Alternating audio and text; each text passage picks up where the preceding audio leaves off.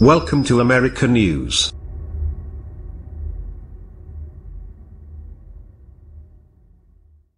My journey, both personally and professionally, in Orthodox and non-Orthodox circles alike, has introduced me to a surprising divide, one that does not map neatly onto the denominational divide but evokes diverging passions that grow more animated as one moves from right to left.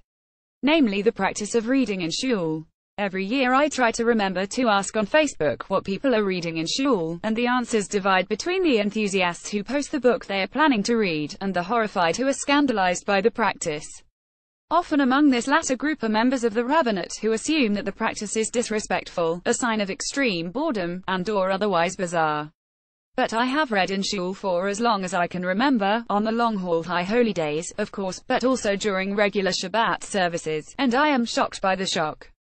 I think it is a noble and worthy practice, and deserves an ode. Actually, shul itself promotes reading in shul. The books, Siddur, Humash, Mahzor, have swollen in size, thanks to the proliferation of longer and more elaborate commentary, whether in liner notes or in long essays on major themes in the back. If you are stuck with an ArtScroll, you can read the catalogues of Jewish laws pertaining to prayer in the back and if you exhaust the interpretive offerings, every one of these books has an onerous introduction by the translator in the front as well. In Israel, there is a whole industry of pamphlets produced for Shabbat reading which are distributed at shul. In my synagogue, as I'm sure is common everywhere else, the greeter offers the incoming worshipper a synagogue newsletter of sorts, like the scorecard at a ball game, which is mostly boring but for the periodic new announcement, and the boxed scores of illness, life, and death that mark the passage of time in a congregation. All of these are in shul, begging to be read. But the real shul reader knows better than to count on the availability, or lack thereof, of interesting reading material in the back of the pew by their knees, and comes prepared with a book or some printed material to while away the inevitable slow and boring parts of services and unless you are in a shortened, theatrical, or otherwise novelty-filled version of services, there will be slow and boring parts.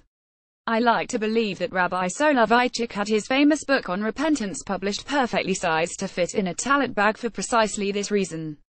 Those who really knew how to repent already in prayer, in other words, didn't need the reminder manual the rest of us, however. So I believe the practice is meritorious, and that rabbis should embrace seeing it in their congregants rather than condemning it, and I offer three main reasons. First, reading in shul incentivizes coming on time.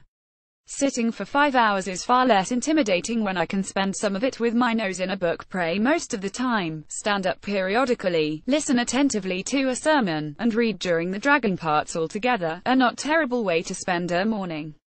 Second, reading in shul amortizes the spiritual quest. Repenting takes time and work, and kavana, spiritual intentionality, creates a lot of pressure.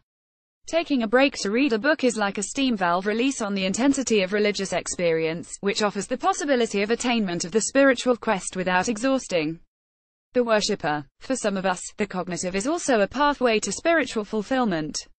It is not by chance that the rabbis of the Talmud prefer to pray among their books in the study house rather than among the people in the synagogue. Learning, thinking, aspiring, and praying can be correlative experiences rather than distractions from one another. And third, the congregant who reads is an empowered congregant. One of the biggest gaps between orthodoxy and the liberal denominations is the prevalence in the latter of the expectation that the service officiants, rabbis and cantors, are performers of a religious experience for and on behalf of the congregation. In fact, the emissary does not exonerate the congregation from its responsibilities, as a set of religiously empowered individuals, and as a collective entity, from taking responsibility for its religious performance. The congregant who sits periodically and reads is signaling to the rabbi that she is not there to be entertained by the clergy on stage but is an autonomous member of the congregation taking ownership of her spiritual experience. I should think that this would be a gift to a rabbi. With all that in mind, some advice, from experience, on dos and don'ts to choose reading material that can be digestible in short nuggets don't choose material that will so intensely engross you that you will lose track of the ark openings, or distract you from the moments of joyous group singing. One friend of mine kept with him a book of short Hasidic teachings for over a year at shul, which he was able to dive into, and out of, quite easily, and which was substantive enough to be meaningful but cut into short enough excerpts that made it shul-friendly. And this was a friend who really liked davening. To choose thematically relevant, spiritual and nourishing, and or inspiring reading material don't choose titles that will distract other worshippers with unnecessary provocations like another friend who agitated a quarter of the men's section of his shul while reading Moshe Halbertal's Idolatry, a perfectly respectable work of Jewish scholarship, but for the fact that it seemed to others to be an instruction manual. The exception to this rule is children, who should be allowed to read whatever they want to read in shul, because it is great that they are in shul, and as we know, the love of Judaism can be gained by passive osmosis. To bring shareable material, the online Jewish thought publication, The Lehrhaus offers PDF versions of their articles before Shabbat and holidays, knowing the predilections of their audience, and leave it in the pews. There is nothing better than showing up at shul having forgotten your book at home, only to discover a rich body of reading material left behind. But don't start discussion groups in the pews of the reading material. Remember, this is all in service of your and the community's spiritual experience, and not a competing performance. Also don't read during the rabbi's sermon. Reading is really more of a repetition of the Amidah activity. If it helps, think of the sermon as a written piece that the rabbi worked really hard on, and that they are reading aloud to you. So happy reading this year. My Facebook friends are recommending Ilana Kurshan's magnificent new memoir If All the Seas Were Ink, Alan Lew's This Is Real and You Are Completely Unprepared a perennial choice, and the poetry of Yehuda Amichai.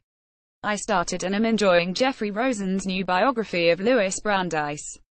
Thank God, the Jewish canon is broad, and shul is long, and we can get through this together. Yehuda Kurtzer is president of the Shalom Hartman Institute of North America and author of Shuva the Future of the Jewish Past, which also fits neatly in a talis bag. What these Jews will be sneak reading during high holiday services Ari Feldman September 27, 2017